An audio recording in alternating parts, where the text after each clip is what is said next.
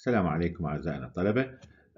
نأخذ الجزء الثالث من المحاضرة الثالثة من موضوع ال mass transfer operation diffusion in gases وهو diffusion in conical vessel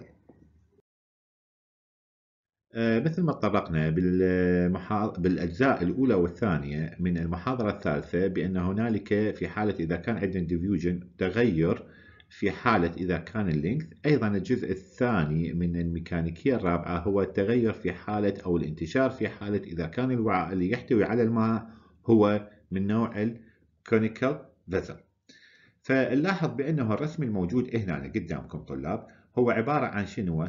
عبارة عن conical اللي هو ال diame- ال diameter مال ال conical الوعاء هو D واحد. D واحد. أنا طبعا ما أقدر هسه أشر عليه لأن أكثر شيء هو تأشيرات كلش هواية عليه فانتبهوا على الكلام. فالقاعدة مال ال conical هي D واحد. نلاحظ بأنه راح يستمر بالقطر ينفتح أكثر يكبر إلى أن نحصل بأنه ال diameter العلوي لهذا النوع من أنواع الأوعية هي ال conical ال diameter العلوي هو أكبر من ال diameter القاعدة. فحيكون هو عبارة عن D واحد زائدا الزيادات اللي راح تحصل على جانبي هذا الوعاء اللي هو K من بالتساوي الطرفين. معناتها حيكون ال diameter العلوي هو عبارة عن حاصل جمع D واحد زائدا 2 K هذا بالنسبة إلى أبعاد القاعدة القاعدة السفلية والعلوية. ارتفاع ال vessel هو L. ارتفاع ال vessel هو capital L. أكو سائل موجود في داخل هذا الكونيكال فزل السائل ارتفاع السائل عن سطح الفزل هو Z. ارتفاع السائل عن سطح الفزل هو Z. إذا طول السائل من الأسفل إلى النهاية العلوية إليه هو L ناقصا Z. إحنا ما نعرفه. L ناقصا Z. إحنا نعرف ارتفاع السائل ونعرف ارتفاع الوعاء. ليش إحنا ما نعرفه؟ لأن طلاب بمرور الوقت طبعا هذا الكونيكال فازل هو معرض إلى الجو السطح الخارجي مالته هو معرض إلى الجو. راح يمر عليه العفو راح يمر عليه مائع راح يعرضه إلى عملية الانتشار والتبخر. فالارتفاع مال هذا السائل راح يبدي يقل إذا معناته الارتفاع يعتمد على مرور الزمن بنتيجة الانتشار أو تلاصق الماء اللي يجري به من الأعلى راح يعرضه إلى عملية تبخر راح يبدي هذا السائل ينزل كعامود ارتفاع. كعامود ارتفاع دا أحكي. بس ك cross section area أيضا دا يختلف لأن هو موجود في داخل وعاء شكله conical بما أنه الأقطار اللي موجودة الصفاح مال ال conical هي مو ثابتة لأن تلاحظون شوفوا كل ما ينزل للأسفل القطر مالته دا آه القطر دا يقل ال diameter مالته دا تقل. وبالتالي معناتها ال diameter أيضا مال السائل دا يقل مع مرور الوقت وكل ما انخفض ارتفاع السائل. فمعناتها بمرور الوقت راح يصير عندنا تغير بالمساحة ذلك السائل بمساحة ذلك السائل. okay؟ الوين دا يصير اختلاف؟ شوفوا على الطرفين أكو شنو؟ أكو عندنا M راح اشر هالمرة عليها. هاي ال M لأن هاي مهمة. هاي ال M هي دا تختلف لأن هاي ال M هي متغيرة. لأنه كل ما دا ينزل السائل نلاحظ ال M دا تصغر. فاذا الاختلاف وين دا يصير؟ بقيمة ال M التغير وين دا يصير؟ بقيمة ال M مع مرور الوقت وكل ما انخفض السائل okay؟ فمعناتها سيصير عندي تغير. بالمساحة. قلت مثل ما قلت سابقا بأنه بمرور الوقت آه يصير عندنا آه عملية تبخر. المادة اللي تتبخر اللي هي الموجودة بالسائل اللي موجود في داخل الوعاء سواء كان سائل أو حتى لو كان غاز آه ينتشر. فدا ينتشر وين بالجو بالهواء لنفرض اللي هو دا يسوي عملية الانتشار بس الهواء ما دا ينتشر في داخل السائل وبالتالي أيضا راح يطبق عليه الميكانيكية الثانية اللي هي المادة A تنتشر المادة B ماذا تنتشر بالمادة A وهاي هم قايليها الملاحظة بالبداية اللي هي for non-diffusing gas هذا فتقدرون أنتم تعبرون عن الميكانيكية الأولى بس إحنا بدنا نشتغل هسه على الميكانيكية الثانية okay طلاب. فصارت هاي المعادلة قدامنا. وين يصير أيضا التغير؟ هو دا يصير بال flux. مثل ما قلنا هذا النوع من أنواع الانتشار. ال flux يكون غير ثابت نتيجة تغير المساحة. فاذا أيضا أطبق عليها بأنه ال NA اللي هي الغير ثابتة يساوي لنا ال NA ال flux الثابت مقسم على cross section area okay؟ فهاي آخذها أطبقها بالقانون أعلى فصارت المعادلة بهالصيغة. فصارت المعادلة بهالصيغة. okay؟ أرجع شو أقول هسه؟ راح أسوي uh, variable separation بالنسبة لل PA الموجود بالأعلى dPA عن ال DZ فآخذ ال DZ أنقله للطرف الثاني من المعادلة أنقل ال DZ للطرف الثاني من المعادلة أنقله هنا وال dPA ابقي مثل ما هو. فصارت المعادلة هنا. فهذا الحد طلاب هذا خطأ. هذا مو dPA هنا. هذا حيكون قيمته شنو؟ dZ هذا حيكون شنو؟ dZ بدال ال dPA فهذا هو حد التكامل مال الزت وعادة الزت يكون من زت واحد إلى زت اثنين والطرف الأيسر من المعادلة حيكون هو حد التكامل مال ال partial pressure اللي حدود التكامل من PA واحد إلى PA اثنين. okay؟ منا ذاك الوقت راح نبدي نشتغل. هاي التكامل مال ال P إحنا نعرفها سابقا مر علينا. يعني سابقا بالميكانيكية الأولى وبالميكانيكية الثانية نعرف بأنه لازم يكامل ال partial pressure مع اختلاف التكامل. أما هنا الشيء الجديد هو اختلاف من هو اللي هو تكامل مال ال Z تكامل ال Z ليش؟ لأنه عندي أنا شنو هنا عندي بالمقام عندي ال A اللي هي دا يصير بها الاختلاف. هذا هو ال cross section area متغير. ال cross section area هنا متغير. فمعناته هسه شنو لازم؟ أربط ال area أربط ال area اللي هي موجودة بالأسفل. أربطها ويا من؟ ويا ال Z ال area هي دائما نأخذها ال area باي على 4 D تربيع. باي على 4 D تربيع. وين دا يصير تغير طلاب بال area؟ دا يصير تغير بال D دا يصير تغير بال D فلازم أوجد علاقة أربط بين من؟ أربط بين ال diameter وال Z على مود أقدر أكامل. أوجد علاقة بين الدايمتر والزد على مود أقدر شنو؟ أكامل بدلالة الزد شنو العلاقة؟ شلون أوجدها؟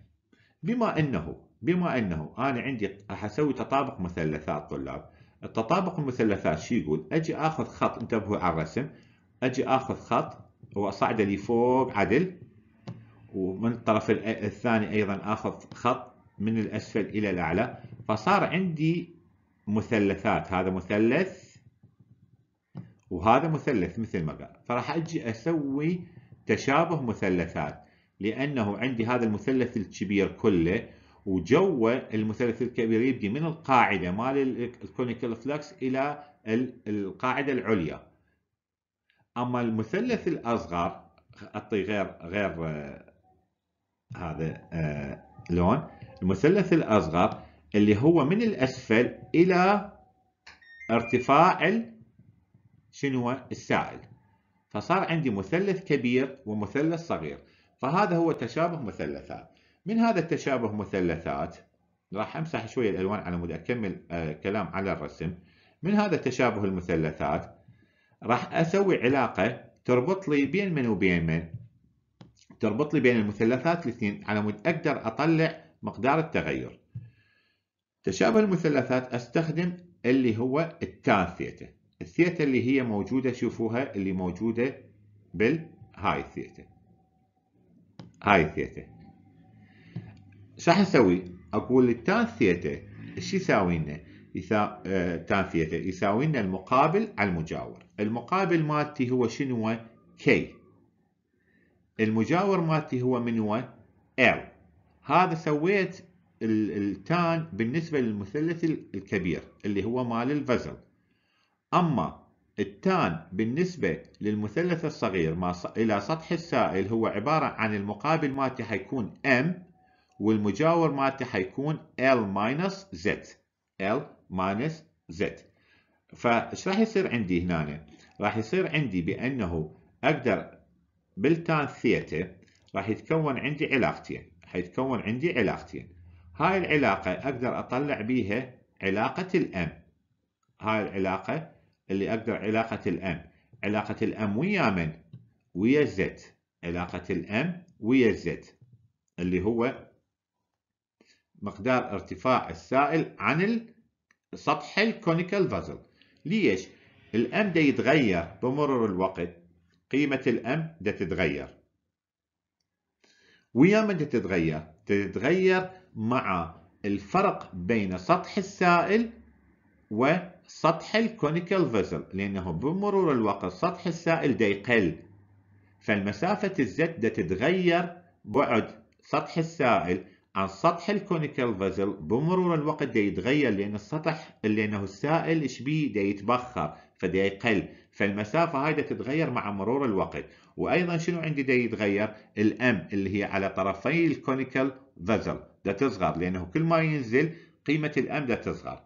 أما بقية اللي هي عندي حسب القانون البقية هو شنو عندي بالقانون؟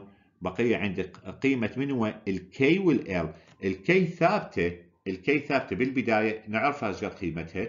وال L اللي هو الطول الكلي لل conical vessel هو ثابت. الطول الكلي للوعاء الوعاء ما يتغير طوله. الوعاء ما يتغير طوله. السائل هو يتغير طوله. الوعاء ما L هو ثابت. فاذا كل الموجودات ثوابت ما عدا ال M وال Z فشلون أربط ال M ويا ال Z وياها؟ فعرفنا بأنه ال M قيمته من هو؟ ال M قيمته يساوي لنا K مضروب في L ناقصا Z على L ليش؟ شلون أربط جاب هسه ال M على ال A ال cross section area شلون جاب ال M على ال cross section area إحنا قلنا ال A شو يساوي لنا ال A يساوي لنا باي على 4 D فإذا لازم أوجد قيمة إلمن لل D مربوطة ويا من؟ ويا الزد الدي هو شنو؟ الدي.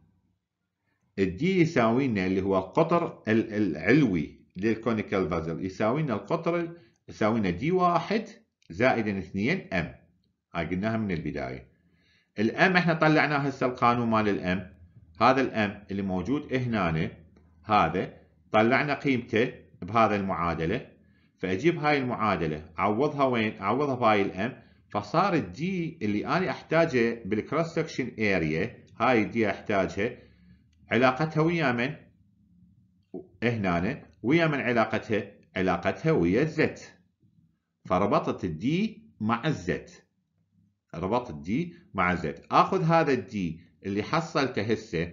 آخذ ال D اللي حصلته. وين أعوضه ويا من؟ أعوضه بال cross section area اللي هي قيمة ال A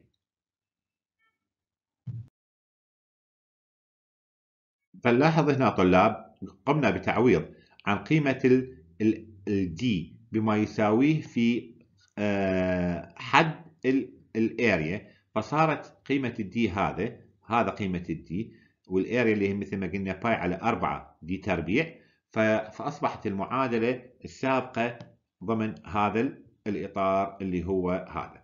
نلاحظ بأنه هاي المعادلة طبعا هي غير كاملة لأنه كان المفروض هسه راح نبدي نكامل قيمة الحد ال z بما يساويه من صيغة التكامل بالنسبة للمعادلة اللي حصلناها وأيضا بالطرف الأيسر من المعادلة عن قيمة ال partial pressure اللي بالنسبة للمادة A هاي المعادلة العامة اللي حساب ال flux في حالة إذا كان ال shape مالتنا كوعاء هو من نوع ال conical.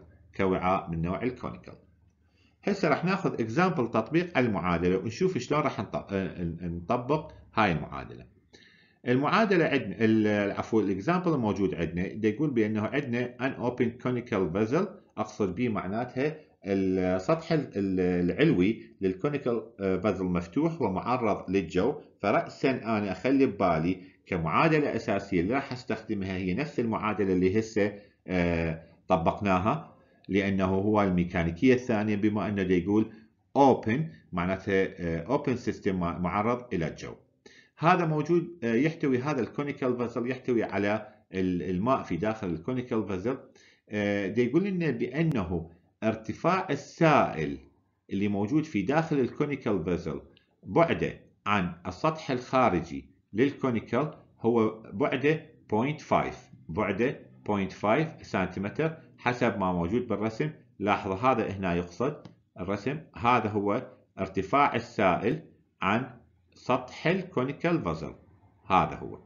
هذا هو ارتفاع السائل وهذا بعده عن سطح ال vessel اللي هو 0.5 المطلوب حساب. إيش طالب من عندنا؟ حساب ال time required الزمن اللازم drop level لانخفاض الارتفاع by 10 سنتيمتر. يقصد بيها عن اللي موجود هسه مو هسه بعده 0.5 ارتفاع السائل عن سطح ال conical مو بعده أكو بعد مسافة 0.5 يريد عن بعد هذا البعد بعد يقل ارتفاع السائل 10 سنتيمتر. مطينا بالسؤال قيمة ال DAB اللي هو الثابت مطينا الضغط الكلي 1 أتموسفير مطينا درجة الحرارة 25 سنتيغراد مطينا أيضا بالسؤال ال vapor pressure للماء at ال 25 سنتيغراد مطينا إياها 0.0313 أتموسفير. أوكي؟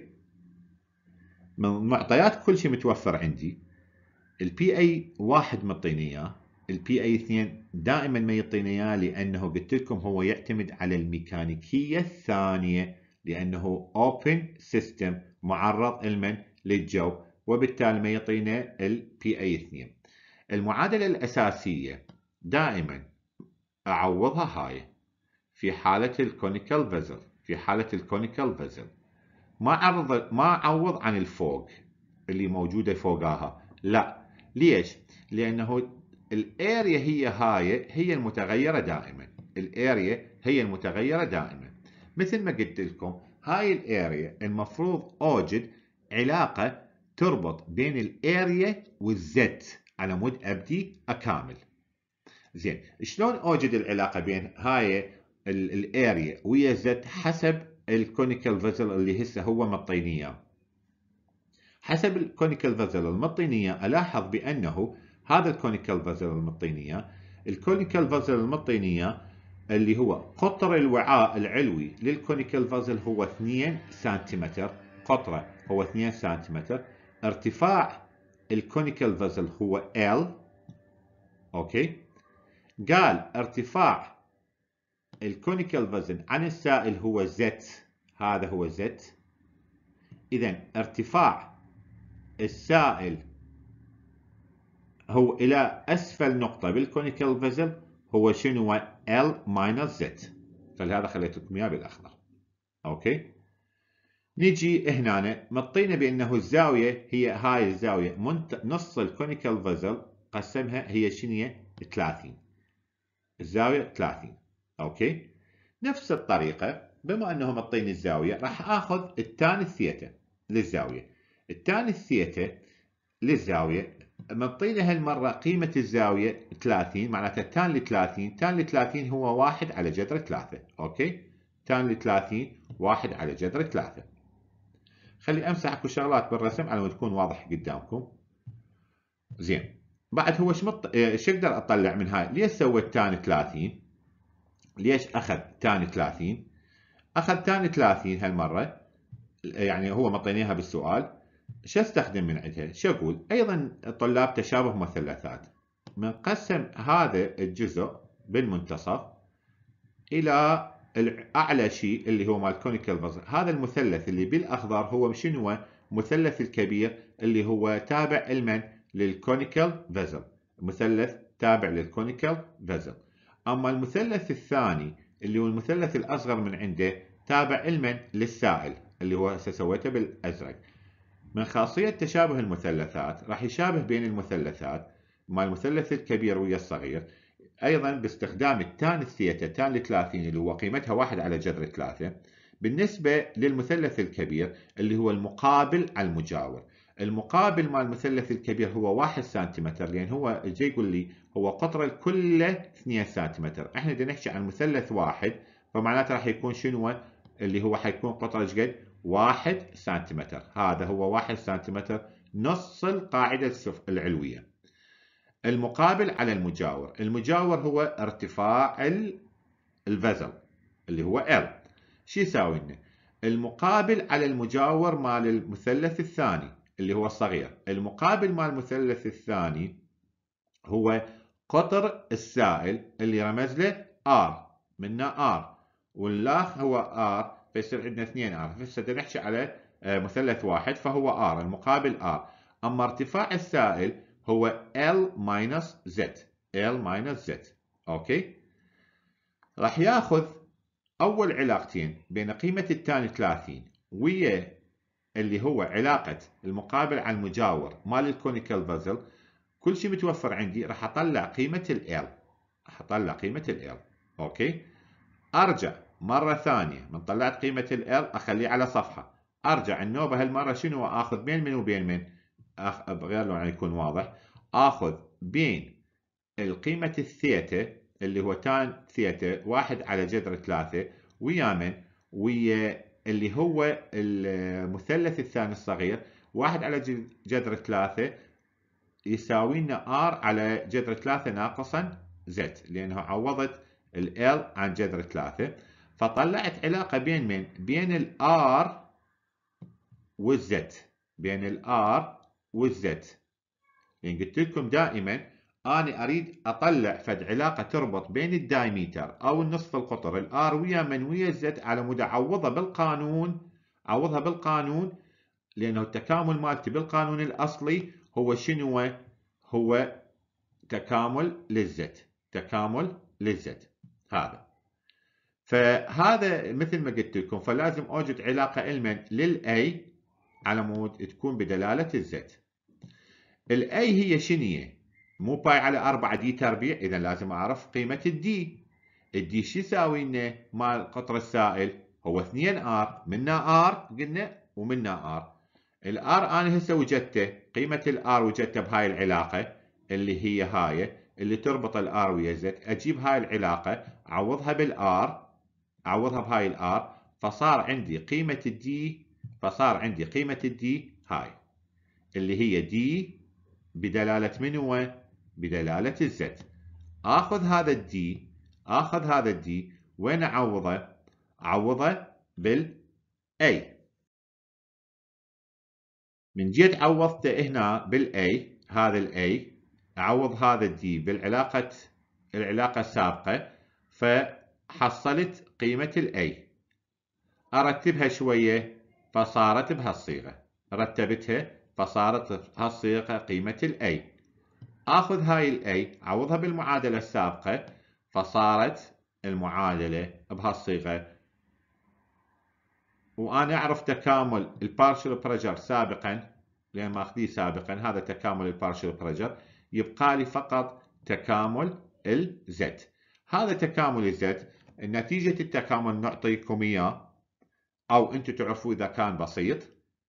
وكل شيء متوفر عندي بالسؤال راح أوجد قيمة ال NA داش أوجد قيمة ال NA داش وجدت قيمة ال NA داش هاي وجدت قيمة ال NA داش لفلاكس هو ما طالب من عندنا بالسؤال هي قيمة الفلاكس هو طالب من عندنا قيمة الزمن اللازم لانخفاض السائل بمقدار 10 سنتيمتر عن آه، موقعه قبل الانتشار. بس أنا ليش طلعت ال NA داش ليش طلعت ال NA داش لسببين. لسبب بأنه التايم ما أقدر أوجده إلا أعرف قيمة ال NA داش واحتمال هو يطلب من عندي بالسؤال قيمة ال NA داش كحل قبل ما أطلع التايم بس هو أنا نهائيا ما أقدر أطلع التايم طلاب إذا ما أوجد ال NA داش ليش؟ لأنه بالسؤال بالقانون اللي أخذناه باستخدام الكونيكال فازل أنا ما عندي التايم حد التايم أنا عندي ان اي داش ومثل ما قلنا سابقا بالسفير أو بالأي نوع هاي الان اي داش أقدر أحوله بدلالة التايم لأنه الان اي هو شنو؟ الان اي هو عبارة عن السرعة في الكونسنتريشن والسرعة هو دي زد اوفر دي تي فهنا راح يظهر لي التايم والكونسنتريشن هو الوزن اللي هو الدنسيتي على الوزن الجزيئي. حاصل variable separation مثل ما تعلمنا سابقا. أجيب الدي تي للطرف الأيسر من المعادلة وحدود التكامل مالتي من صفر إلى تي وأخلي الدي زت بهذا الطرف والأي أوديه من الأيسر للأيمن وحدود التكامل بالنسبة لزت هو من زت نوت إلى زت اف الأي اللي أنا راح أضربه بالتكامل اللي أنا لازم أحوله بدلالة الزت هي نفس الأي اللي أنا حصلتها هذيك الساعة. من هاي نفس الأي هاي الأي أجيبها هاي الأي أعوضها هنا أرجع داخل التكامل. فصارت المعادلة شوفوها بهالصيغة صارت المعادلة بهالصيغة. أرجع أني أبدي أوفر حدود التكامل بالنسبة للزت فصارت هنا فتحت التربيع فصارت التكامل بالصيغة اللي أنتم تشوفوها أسفل. وراها راح أبدي أوجد. صارت التكامل العفو بهذا بهاي الصيغة صارت المعادلة. راح أبدي أكامل بالنسبة للزد فصارت المعادلة بهاي الصيغة. حدود التكامل مالتي تلاحظوها من 0.5 إلى 10 ونص من 0.5 إلى 10 ونص من 0.5 هذا إلى 10 ونص عدتها وكررتها أكثر من مرة. بس هسه يقولون أنتم قلتوا 10 إحنا قلنا 10 ينزل. بس هنا نقول إيش قد الزمن اللازم لنزول السائل؟ تقدرون يقولون اذا معناته حدود التكامل. تقدر أنت تقول للزيت من صفر إلى عشرة من صفر إلى عشرة وأقدر أقول من 0.5 إيش قد كان بعده الحقيقي قبل عملية الانتشار عن سطح الكونيكال فيزل إلى إيش قد صار؟ صار 10 ونص. لأن يقول 10 و5 هي كان بعده 0.5 سابقا فصار 10 ونص. هذا أبدي أعوض أبدي بال10 ونص. بالنسبة للزت ناقصا ال 0.5 أو أبدي بال10 ناقصا صفر بالنسبة للزت أجي ال اي داش أنا طلعته سابقا. الدنسيتي مال المي إذا ما مطيني إياه أنا اعرفه والوزن الجزيئي أيضا المن للمي. كل شيء متوفر عندي تركت قيمة التايم توجدوه كهومورك وبالنسبة أيضا للتكامل. فهنا طلاب هذا عندكم كواجب لإنهاء وتعويض عن حدود التكامل وإيجاد القيمة النهائية للزمن. هذا هو تطبيق آه، مباشر لإيجاد الزمن اللازم لانخفاض ارتفاع السائل موجود ضمن وعاء من نوع الكونيكال نتيجة تغير الكروس سكشن اريا للوعاء. وبهذا الجزء طلاب نكون قد أنهينا الجزء الثالث من المحاضرة الثالثة لهذا اليوم. وشكرا جزيلا للجميع.